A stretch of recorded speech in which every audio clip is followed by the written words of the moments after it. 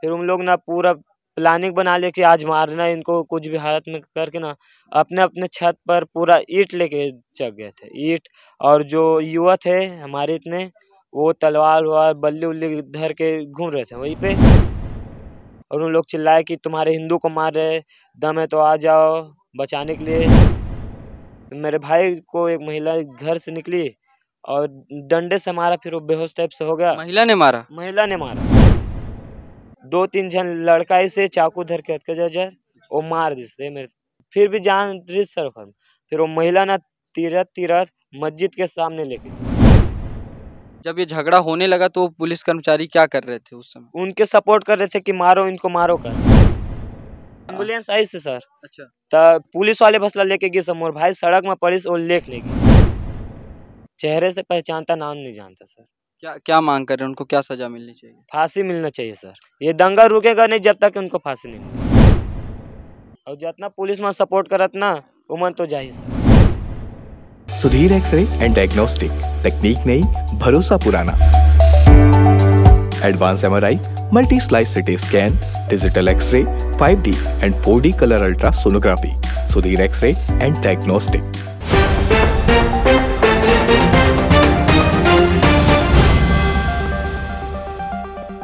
नमस्कार दर्शकों, मैं हूँ प्रशांत कुशवाहा और आप देखना शुरू कर चुके हैं तीरंदाज। छत्तीसगढ़ के हम हैं बेमेतरा ज़िले के साजा थाना क्षेत्र के बीरनपुर गाँव में। आप देख पाएँगे मेरे पीछे पुलिस की बैरिगेटिंग लगी हुई है। यहाँ पर आप सड़क पर देख पाएँगे, ये जो दिख रहा पत्थर के आपको टुकड़े नज़र आएँगे, यही वो जगह है जहाँ पर कल दंगा हुआ, जिसमें भुवनेश्वर साहू, जो कि तेईस वर्ष के थे, उनकी मृत्यु हो गई है। और आपको बता दें कि ये जो विवाद था बहुत छोटा सा था। दो दो समुदाय के जो बच्चे थे उनके बीच में आपस में साइकिल का थोड़ा सा टक्कर हुई, उससे झगड़ा बढ़ा, उसके बाद वो झगड़ा परिवारों में बदला और परिवार से बढ़ करके वो झगड़ा समुदाय में बदला और यहाँ पर समाज की बैठक चल रही थी कि वो लोग आपस में जो समाज थे, एक समुदाय के लोग बैठक कर रहे थे, तभी दूसरे समुदाय के लोग अचानक से आ जाते हैं और उन पर हमला करने लग जाते हैं। हालाँकि आइए हम आपको दोनों ही समुदाय से बात करने का प्रयास करेंगे और बताएँगे कि पूरी कहानी क्या थी उन्हीं की जुबानी सुनने का प्रयास करते हैं। इस दंगे में जो हम बता रहे थे आपको जो कि बेमेतरा ज़िले के साजा थाना क्षेत्र के बीरन गाँव में हुआ उसमें अ, बोल सकते हैं जो मृतक एक ही इंसान की मौत हुई भुवनेश्वर साहू नाम था। उनकी बुआ आज हमारे साथ हैं। क्या कुछ हुआ उनके परिवार की हम इनसे जानने का प्रयास करते हैं? आपको क्या पता है कि कल क्या क्या हुआ था एक बार आप बताते। अब सुबह से तो मेरा भतीजा ड्यूटी चला गया था अपना रोजी मजदूरी में। जो मृतक है मृतक है भुवनेश्वर। फिर बारह एक बजे आया वो बारह बजे करीब खाना खाने। फिर यहाँ पर जो कुछ हो रहा था चालू हो गया था पहले चचान मेटा रास्ते पे। छोटे छोटे बच्चे के साथ लड़ना भिड़ना उन लोग दूसरे समाज के लोग। फिर अब इधर साहू समाज वाले लोग ने क्यों कर रहे करके पुलिस को भी बुला लिए थे इतला कर रहे थे बैठक करेंगे। पुलिस को आप लोगों ने मतलब इसी समाज ने हाँ समाज वाले लोग ने अपने हाथ में कुछ नहीं करेंगे अब इन लोग को उन्हीं लोग बताएँगे करके बुला ही रहे थे। तभी इधर से आवाज़ आया कि इन लोग को मार रहे हैं खोलो खोलो गेट करके किसी गेट को खड़खड़ा रहे थे। तो सब गाँव वाले लोग इकट्ठा हो ही रहे थे इधर से आवाज़ आया तो कुछ लोग उधर बैठक करके जा रहे थे कुछ लोग इधर जा रहे थे। तो उसमें मेरे भतीजा भी क्या हो गया करके जस्ट खाना खा उठा और पीछे से वो भी गया। अच्छा जब वहाँ मारपीट शुरू हो गया तब भुवनेश्वर शुरू नहीं हुआ था। इधर वाले कुछ लोग को बुलाने के लिए उन लोग आवाज़ लगा रहे थे। मारने के लिए मतलब किसी साहूज के घर में घुस रहा था। तो ये भी गया वहीं। अच्छा मतलब किसी हाँ। और के घर पे वो हाँ। आवाज़ कर रहे थे कि आ हाँ, जाओ। हाँ, तब अपने हाँ। साहू समाज के लिए ये लोग आगे निकले थे सबके सब लोग हाँ। तो वहाँ पर ना बाकी लोग को तो कुछ कुछ बड़े लोग बच्चे लोग को पीछे हटो हटो ईट पत्थर मार रहे लग जाएगा लग जाए कुछ कुछ को पीछे भगा रहे थे और कुछ को उन लोग पकड़ के दबोच के पूरा दबा दबा के मार डाला घिल पूरा दौड़ा दौड़ा के। यहाँ पर हुआ था और वहाँ से पता नहीं भग रहा होगा कि क्या कर रहा होगा तो वहाँ उन लोग का मस्जिद कहाँ है और यहाँ घर दिख रहा है व्हाइट वाला? हम्म। वो घर से लेके पूरा मस्जिद के पास उसका जो सब था वो मिला। माँ बाप को सबको रोक दिए थे कि पुलिस वाले है पुलिस वाले है और पुलिस वाले लोग चौक पे रहा होगा। फिर वो होने के बाद आया पुलिस वाले लोग फिर भी हाथ लगाने नहीं दे रहे थे। पुलिस वाले को भी चोट लग गए उसको भी एडमिट किए हैं। जब ये ये जब घटनाक्रम हुआ आपका कहना है ये साइकिल वाला जो बच्चों का विवाद है हाँ हाँ। वो क्या विवाद था? ये ये थोड़ा सा बताइएगा कि कैसे ये झगड़े का रूप लिया। कब हुआ था? बच्चों का साइकिल वाला विवाद? कलिच हुआ था। कलिच तो हुआ था बोलते हैं बच्चों को मतलब छोटे बच्चे को मज़ाक में मारे या किस चीज़ में मारे तो। वहाँ उधर के लोग मारे। उधर के ही बच्चे ही होंगे जिन्होंने इधर किया। के हिंदू तरफ़ के लड़के लोग को। उन लोग मारे थे। हाँ उन्हीं घर के बच्चे लोग को मारे थे। तो वो कुछ बोले होंगे? बच्चे लोग को क्यों मारे कर तो वो लेडीज़ को भी मारने लग गए थे मार दिए थे उसी घर का लेडीज़ को। अच्छा। हाँ, तो इधर इन लोग बोले होंगे मैं समाज को बुलवा रही हूँ है ना? बच्चे को मार रहे हो मेरे को मारे हो करके। तो हम्म। समाज वाले लोग उधर इकट्ठा हो रहे थे और इधर आवाज़ लगा दिए तो इधर आ गए। जैसे ही समाज वाले एक तरफ़ इकट्ठा हुए हम्म। दूसरे समुदाय ने आवाज़ लगाया कि हम मार रहे हैं बचाना है तो आ जाओ। तब बाकी लोग जा करके वहाँ गए बस यही। और जब गए तो फिर उन लोगों ने किस किस चीज़ से मतलब उन लोग ने आप लोग का कहना है पहले से तैयार थे मारने को तो क्या हथियार अपने पास रखे थे पता है कि ईट पत्थर रखे थे और कुछ लकड़ियाँ भी रखे थे डंडा वगैरह बोल रहे थे कुछ छुरी वगैरह भी रखे थे छुरी लगा था लड़के को। अच्छा चाकू चाकू पड़ा था। हम्म। ये जब घटना हुआ उसके कितने देर के बाद पुलिस यहाँ पे पहुँची थी और उसके बाद और भी ज़्यादा झगड़ा फिर इनकी मौत जब हो गई फिर सब माहौल शांत हुआ था या और ज़्यादा भड़क तो गया नहीं हुआ था भड़क रहे थे पर पुलिस वाले लोग डग्गा आ गए थे ना पूरा तो उन लोग बस अलग अलग कर दिए थे इधर वाले को इधर और उधर वाले को उधर। भुवनेश्वर जो साहू हैं उनके अलावा और किसी को चोट लगा है क्या आपके इस लोग को कहीं कहीं हाँ इस समुदाय के लोग को बहुत लोग को लगा है। वो लास्ट मकान है ना उनके दोनों तीनों बच्चे को लगा है कहीं कहीं पर यहाँ पर कटा है यहाँ पर कटा है एक लड़के का ऐसे ब्लड निकल रहा है।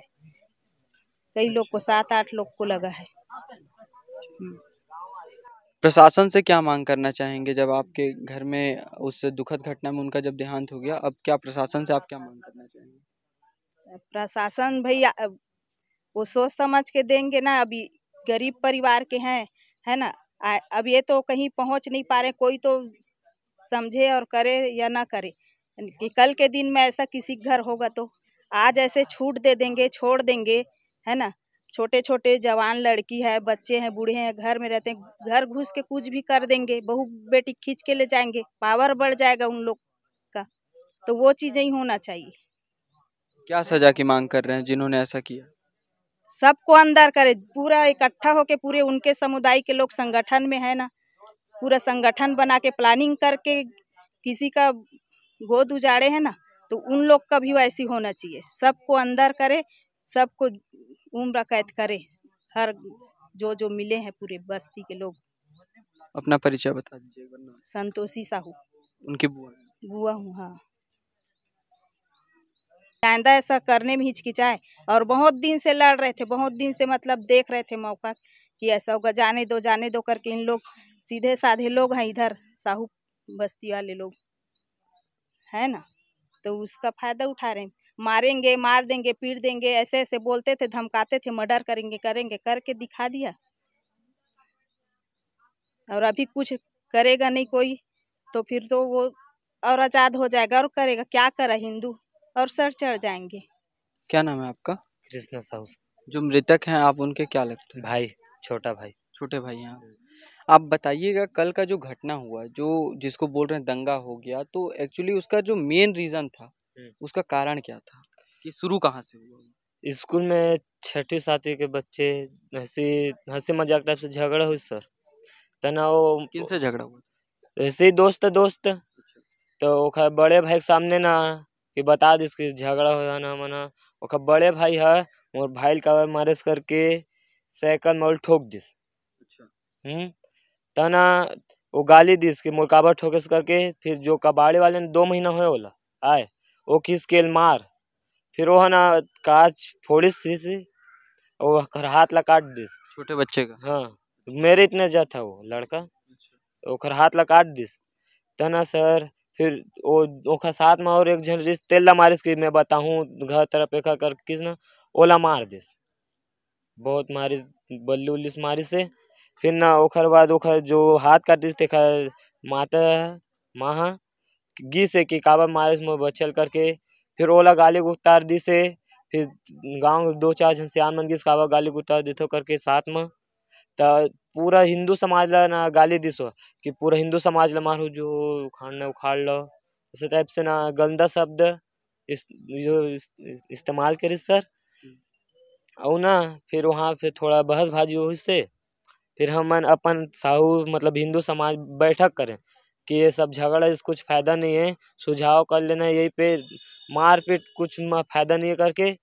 फिर वो मन ना सर कि मारना छे आज हिंदू मन ला करके ना प्लानिंग जमा ले रही से और आप लोग समझौता करने गए समझा हम अपने ही समाज में हो रहे थे उनके समाज में नहीं गए थे। अच्छा। उन लोग सम हम लोग फिर उन लोग ना पूरा प्लानिंग बना लिया कि आज मारना इनको कुछ भी हालत में करके ना अपने अपने छत पर पूरा ईट लेके चढ़ गए थे। ईट और जो युवा थे हमारे इतने वो तलवार वलवार बल्ली उल्ली धर के घूम रहे थे वहीं पे और चिल्लाया कि हमारा जो बैठक चालू हुआ जस्ट चालू हुआ और उन लोग चिल्लाए कि तुम्हारे हिंदू को मार रहे दम है तो आ जाओ बचाने के लिए। फिर हम तो लोग ना संगठित होकर के चिल्ला रहे थे या कोई एक अकेला व्यक्ति संगठित होकर चिल्ला रहे थे। फिर ना हम लोग गए कि छोड़ाने के लिए निहत्था गए कि छोड़ाएँगे सिर्फ़ करके समझाएँगे बातचीत। उन लोग ना झूठ बोले कि मार रहे करके किसी को भी नहीं मार रहे थे। और तन वो बस्ती पहुँचे तन छत लेना ईट उट बसाना चालू कर दे। आप लोग उनके बस्ती में गए थे? हाँ मस्जिद के सामने। आप लोग उनके बस्ती में क्यों गए थे? कौन किसको वो लोग मार रहे थे? आप लोग को गलत किसी को नहीं मार रहे थे। हम लोग को उकसाने के लिए चिल्लाया सर। क्या, क्या चिल्लाए कि तुम्हारे हिंदू को मारे दम है तो आ जाओ लेकर जाओ बचा लो करके न चिल्लाए। फिर हम लोग दो तीन जने नहीं था मार रहे होंगे सच में करके गए। मेरे भाई साथ में गए। अच्छा उस समय भुवनेश्वर गए कि बचाने के लिए कि किसको वो लोग मार बचाने के लिए साथ ही में गए बहुत जने तीस चालीस जने गए। फिर ना ऐसे फिर हम लोग को ईट बस आना चालू कर दो उसके बस्ती में गए सर। फिर हम लोग आ गए बहुत जने भाग के आ गए। मेरे भाई को एक महिला घर से निकली और डंडे से मारा फिर वो बेहोश टाइप से हो गया। महिला ने मारा? महिला ने मारा यहाँ पर। बेहोश टाइप से हो गया सर। तहन ना दो तीन जन लड़का से चाकू धर के अटके जा जाए वो मार दिसे मेरे छाती जब वो गिर गया घायल होके फिर? हाँ, फिर भी जान रही सर फिर वो महिला ना तीरथ तीरथ मस्जिद के सामने लेके गई सोला। कितना दूर था वहाँ से मस्जिद? यहाँ से पेड़ इतना था। अच्छा लगभग सौ मीटर। हाँ वहाँ पे ले गई फिर मस्जिद तरफ़ से घूमी से फिर मोला ईमान की से कि पुलिस मान तो ये कुछ नहीं हो तोला तोर भाई कुछ नहीं हो चल करके था इखा मनसन आ गयो सर तन आधा घंटा बाद पता चली कि तोर भाई बेहोश पड़े करके मोल पता चली। अच्छा पुलिस बीच में आ गई थी क्या? कित- वही कित- किस समय- थे सर। पुलिस उनके सपोर्ट में थे। उनके सपोर्ट में थे आपके सपोर्ट मुस्लिम के सपोर्ट में थे पुलिस। अच्छा।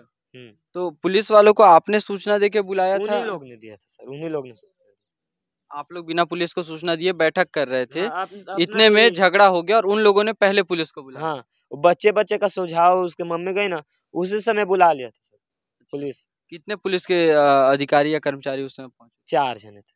चार लोग हम्म। जब ये झगड़ा होने लगा तो पुलिस कर्मचारी क्या कर रहे थे उस समय? उनके सपोर्ट कर रहे थे कि मारो इनको मारो कर कर। अच्छा पुलिस वाले ऐसा बोल रहे पुलिस वाले चिल्ला रहे थे उनको मारो हम लोग है मारो कर और अ, मतलब उसके बाद जब वो मार दिए आप लोग इधर आ गए कब पता चला कि उनका देहांत हो गया आपके आधा घंटा बाद देहांत नहीं हुआ था सर। आधा घंटा बाद पता चली कि तो भाई उम्र पड़े करके मिली से तब मैं घर तरफ़ बताऊँ फिर आधा घंटा बीते के बाद ककरो हिम्मत नहीं होत रही जाए के फिर भी माँ और कोतवाल गी से साथ में। फिर नहीं आ सके बेहोश रही सर। फिर मैं और पापा गए चार जने गए। फिर मैं वाला ना उठा ना तो ओकर साथ चलत रही सर। अच्छा उस समय ज़िंदा ज़िंदा रही से बारह अस्पताल बारह बाद के घटनाएँ पूरे है। टाइम नहीं पता कितना बजे से कितना। फिर ना तोला उठा के लाओ मैं सो सोआओ ओकर पैर उला घसेन तो ओकर साथ चलत रही। ओकर वो घटना तुरंत अगर एंबुलेंस आतीस ना सर आधा घंटा बाद भी एंबुलेंस आतीस तो मोर भाई बच जेती दो घंटा लेट एंबुलेंस आया। दो घंटा बाद एंबुलेंस आई। अच्छा। देखा कारण मोर भाई देहांत हुए और वो जो मोर भाई घटना होए के बाद ना दस पंद्रह मिनट बाद पुलिस भी आई से। तो ओला भी लगी सो बेहोश हो गए। सर ला पड़ीस ना बेहोश हो गए। तो वो तुरंत दवाखाना ले एंबुलेंस आई से तो वही गाड़ी मोर भाई भी लेके जा सका थे सुमन लेकिन नहीं लेके ज़िंदगी से। अच्छा पुलिस वाले गाड़ी जो थे वो एंबुलेंस आई से सर। अच्छा। तो पुलिस वाले बसला लेके गए मोर भाई सड़क में पड़ीस और लेख नहीं गई पुलिस वाले देख रहे थे? हाँ फिर भी लेके नहीं गए सर। नहीं तो भाई बच जाता मेरा। कितने समय के बाद फिर एंबुलेंस वापस आया और उनको अस्पताल लेकर के गए? मेरे भाई को? हम्म। दो घंटा बाद आया सर। अच्छा। फ़ोन करने के बाद दो घंटे बाद आया। और साजा सर दस मिनट का रास्ता है साजा सोलह किलोमीटर है सर सही से तरीके से आएँगे तो दस मिनट लगता है। कहाँ कहाँ चोट लगा था? उस यहाँ पे लगा था और यहाँ पे था और यहाँ पे था सर हाँ। और कान से खून निकल रहा था और यहाँ पे चाकू लगा था। क्या उनको जो चोट लगा जब आपके भाई को काफ़ी समय हो गया होगा लड़ाई झगड़ा हुए दो हम्म। घंटा बीत गया हम्म। उसके बाद क्या माहौल शांत हो गया था या जब मेरे भाई को लाने लाए बर गए सर तो माहौल शांत पूरा। सब अपन अपन घर में घुसर गए रिसे कोई नहीं रिसे। जाना मानो कुछ होए कि नहीं होए ऐसे रिसे। मोर भाई बस वो गली में अकेला बेहोश पड़े रिसे उस भीड़ में केवल आपके ही भाई को केवल चोट लगा बाकी और किसी को भी लगा? दस ग्यारह जने को लगा सर। चोट मोला भी लगे है। चोट यहाँ पे लगे है लेकिन वो इतना दर्द नहीं है। बहुत जने लगे है चोट। रुक फ़ोटो दिखा दो सर एक जन चोट लगे हम लोग फ़ोटो दिखा देंगे आप भेज दीजिएगा। अपना एक बार परिचय दे दीजिए। मैं कृष्णा साहू सर मेरा भाई का देहांत है उसको सर न्याय मिलना चाहिए। जो अपराधी है दो जने फरार है उनको गिरफ़्तार करना चाहिए सर। पहचानते हो क्या चेहरे से पहचानता नाम नहीं जानता सर। क्या क्या मांग कर रहे हैं? उनको क्या सजा मिलनी चाहिए? फांसी मिलना चाहिए सर। और हमारा ही नहीं पूरा हिंदू समाज का न्याय है गाँव का कि उनको फांसी होना पूरा हिंदू समाज का यही है यही फैसला है कि उसको फांसी होना है कि होना पर तभी वो गाँव वो सुरक्षित रहेगा या फिर हम सुरक्षित रहेंगे, दंगा फिर होगा, जब तक उनको फांसी नहीं मिलेगी। ये दंगा रुकेगा नहीं जब तक उनको फांसी नहीं मिली सर। दंगा रुकी या फिर दंगा फिर बढ़ी। और जितना पुलिस में सपोर्ट करत ना उमन तो जाही सर। पुलिस वालों का आप पहचानते हो जिन लोगों ने सपोर्ट नहीं वो मारो मारो जो आप बता रहे हो आप देखे थे क्या अपने आँखों से कि मास्क का लगाया था सर। और चिल्ला वो चिल्ला रहे थे हम लोग और मास्क का लगाए थे। और जो घायल टीआई है साजा का सर वो घायल हुआ। बेमेतरा ज़िले में जो दंगा हुआ उसके बाद पुलिस बल ने पूरा मोर्चा संभाला हुआ है माहौल को शांतिपूर्ण बनाए रखने के लिए। हमारे साथ ज़िले के एसपी मौजूद हैं। सर ये बताइए कि क्या पूरा घटनाक्रम रहा और आप लोगों को कब इसकी सूचना मिली और माहौल को शांत कराने के लिए आप लोगों ने क्या कदम उठाए? कल दोपहर में यहाँ से सूचना मिला है कि दो बच्चों के बीच में झगड़ा हुआ है, जो दो अलग अलग समुदाय के हैं। और वो झगड़ा जो है, बढ़कर उनकी पेरेंट्स को भी उसमें इन्वॉल्व हो गए और उसके कारण गाँव में टेंशन था। तो पुलिस टीम यहाँ पहुँची थी और दोनों पक्षों से बात की है। लेकिन दोनों पक्षों ने रिपोर्ट करने से मना किए हैं, क्योंकि छोटे बच्चे इसमें शामिल थे। और पुलिस को इसमें इंटरफेयर नहीं करने के लिए उन्होंने रिक्वेस्ट किया है। क्योंकि बच्चों का मामला था तो उसमें पुलिस इंटरफेयर नहीं किया, लेकिन पुलिस यहीं पे उपस्थित थी। और यहाँ से जब पता चला कि अंदर कुछ मोबिलाइजेशन हो रहा है तो पुलिस टीम अंदर गई थी और उनके ऊपर पथराव हुआ। तब तक दोनों पक्षों में खूब क्लैशेस हुए और पुलिस के जो सब इंस्पेक्टर है, उनके सिर पे चोट लगी है और आईसीयू में अभी वर्तमान में एडमिटेड है। और इसी क्लैशेस में एक भुवनेश्वर साहू नाम का एक लड़का, जो तेईस साल का है उसकी डेथ हो गई है। इसके बाद पुलिस जो डिप्लॉयमेंट किया गया और फोर्स यूज़ करके इस क्राउड को स्कैटर किया गया है और डिप्लॉयमेंट कंटिन्यू करके आज जो है शांतिपूर्वक अंतिम संस्कार संपन्न किया गया है। जो मृतक का जो परिवार है, वो इल्ज़ाम लगा रहा है कि जब झगड़ा हो रहा था, जब समुदायों के बीच झड़प हो रही थी तो कुछ पुलिस वाले वहाँ मौजूद थे जो जो, भुवनेश्वर साहू के परिवार का ये आरोप है कि पुलिस वाले भी इन्हें मारने के लिए उकसा रहे थे दूसरे समुदाय को।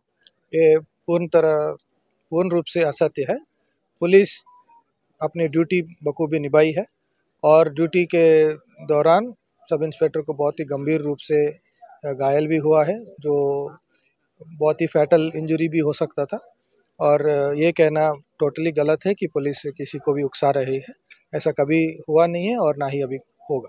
बेमित्रा में जो दंगा हुआ उसके बाद बेमित्रा के कलेक्टर हमारे साथ मौजूद हैं। क्या पूरा मामला था सर? किस बात को लेकर के झड़प हुई? दो समुदायों के बीच एक्चुअली में दो छोटे बच्चों के स्कूल से आने के पश्चात जो विवाद हुआ था वहाँ से प्रारंभ हुई और वो बड़ों तक तो गई।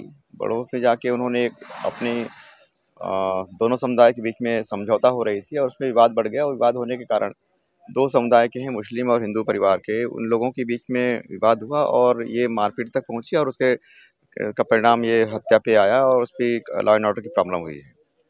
आ, कितने मामले को शांत कराने के लिए आप लोगों ने पूरे, पूरे प्रशासन ने जब मोर्चा संभाल लिया कितने अलग अलग जिलों से यहाँ पे पुलिस कर्मचारी अधिकारी बुलाए गए हैं? वो कितने की संख्या में हैं और किस किस ज़िले से आए ये अभी यहाँ पे राजनांदगांव कवर्धा और स्वयं अपना बेमेतरा ज़िले के के पुलिस अधीक्षक और वहाँ के कर्मचारी शामिल हैं यहाँ पर।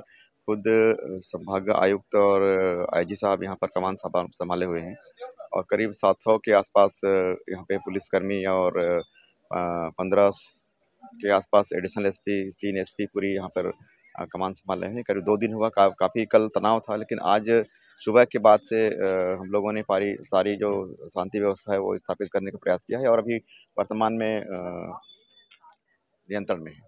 धारा एक लगा दी गई है। कब तक लागू रहेगी और कब इसे हटाया जाएगा? आज सुबह जो मृतक है उसका हम लोगों ने फ्यूनरल करवाया है। उसके पश्चात लगातार यहाँ पर हम लोगों ने समीक्षा कर रहे हैं। बाहर के लोग आ रहे हैं उनको रोके हुए हैं। उसके बाद अभी हम शाम को समीक्षा करेंगे किसकी और स्थिति क्या हो सकती है। जैसे कल सुनाई दे रहा है कि पूरे प्रदेश भर में इसको इसी संबंध में लेकर छत्तीसगढ़ बंद बंद की आह्वान किए हुए हैं। तो इसी इस संदर्भ में हम पूरी हम समीक्षा करेंगे।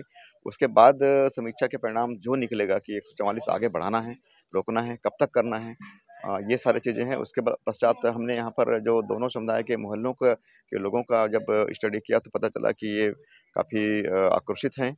इस, इसलिए मैंने सोचा है कि यहाँ पर हम एक छोटी सी यहाँ पर पुलिस पोस्ट भी का भी स्थापना करेंगे, चौथी, चौकी का स्थायी स्थापना करेंगे और पूरी नज़र रखेंगे। पूरी सात आठ दिन तक हम यहाँ पर पूरा हमारे मजिस्ट्रेट हैं, पुलिस का तैनाती रहेगी। ये सारे हमने प्लान बना रखा है ताकि यहाँ पर शांति व्यवस्था कायम हो सके।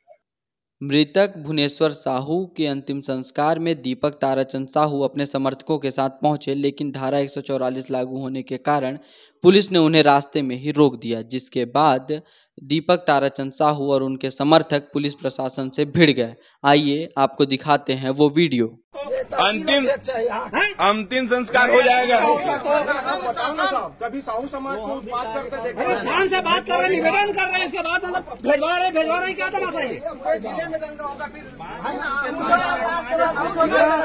हिंदुस्तान में साहू समाज इन लोगों को लाठी चलाना होगा लाठी चलाएगा गोली चलाना होगा गोली चलाएगा कोई दिक्कत नहीं अब मैं आगे बढ़ता हूँ मैंने